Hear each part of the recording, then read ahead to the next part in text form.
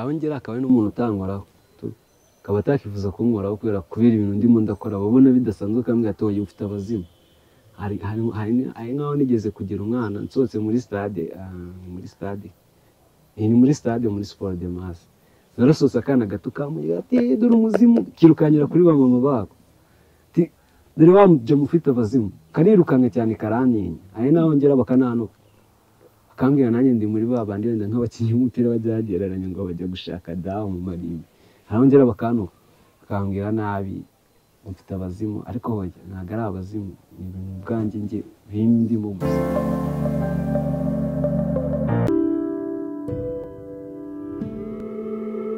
Ah, nitwa Kayiranga Patience. Ah, ndi umwana w'imfura ya mama imyaka cumi n'icyenda dutuye mu karere ka Musanze.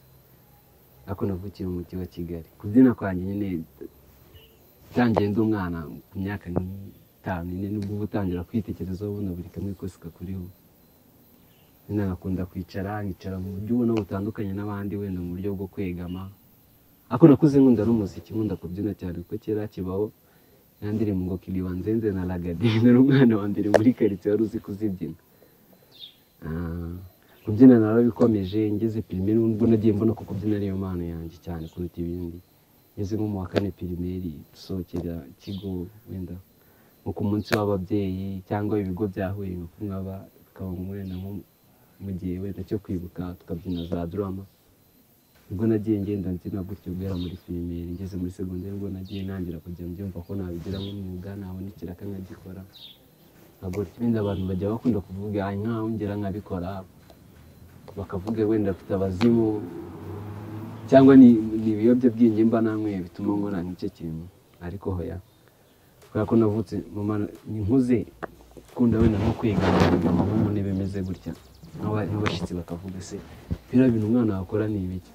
Mama nawe wabwiye ati nyogokuru wanjye cyangwa na mama nibo bakundaga kubimwira ko umwana ava mu mugongo ukamurambura amaboko yagira nka gutya inyuma. Ubwo nagiye menyera ko kubikora gutya ariko ibyo kuvuga ngo abazimu ngo cyangwa hari ikindi kintu mba nishizemo oya nta nyine ni umubyeyi wanjye wabinkoze kugira ngo mbashe kuba nakora biriya. Wenda hari aho ngera akaba ari n'umuntu utankoraho. Akaba atakifuza kunkoraho kubera kubera ibintu ndimo ndakora babona bidasanzwe ati wowe ufite abazimu. Hari nk'aho nigeze kugira umwana nsohotse muri stade ah, muri stade. Eh, ni muri stade muri sport de masse narasohotse akana gato kamubwira ati "Eh, dore umuzimu. Kirukankira kuri ba mama ati dore wa mujama ufite abazimu. Karirukanka cyane karantinya hari n'aho ngera bakananuka.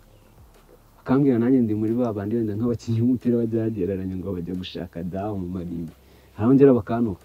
Akambwira nabi mfite abazimu? Ariko hoya ntabwo ari abazimu. Ni ibintu bwanjye njye bindimo gusa. Birashoboka ko umuntu yabyiga akabimenya ariko but ntabwo ashobora kubimenya. Nk'uko wenda nk'urugero ndiho. Cyangwa nk'urugero rw'umwana muto ufite byibuze munsi y'imyaka nk'irindwi kugeza nko kuri itatu. Ntabwo dushobora kubikora kimwe byiza ari mukuru wenda nkana nkanjye yabikora.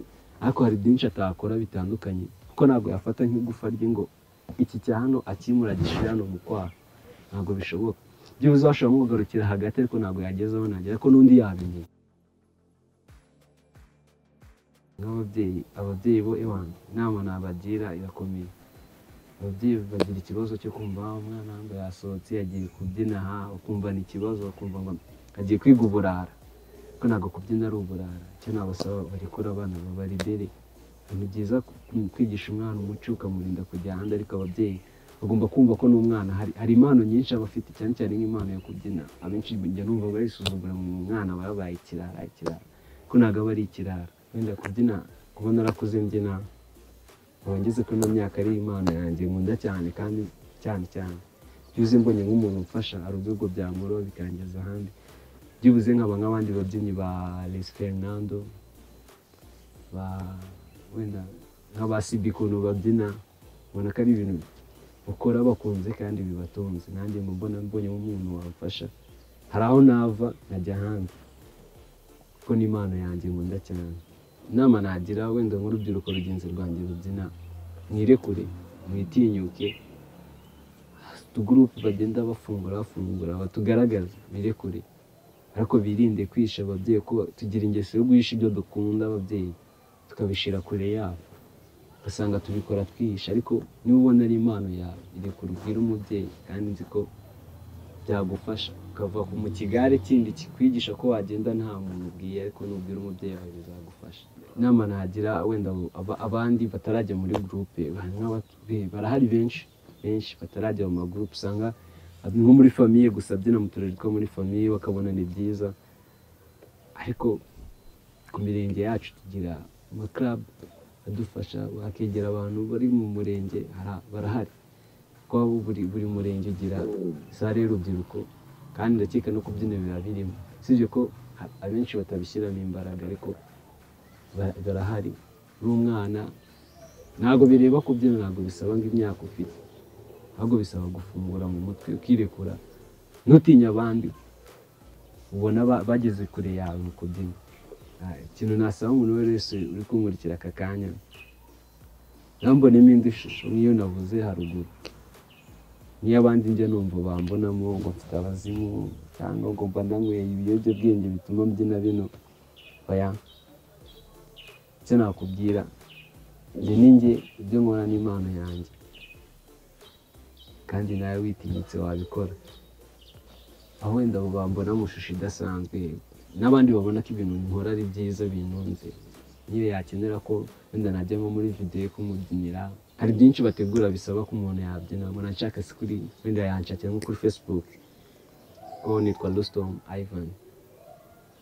Niyo nkoresha. Mpita mbonaho.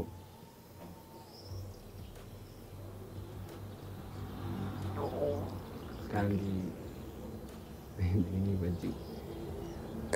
N'uwa- usibye ko nadafite n'umuterankunga n'uwamfasha akankoraho undi akifuza ko yamfasha mu mpano yanjye.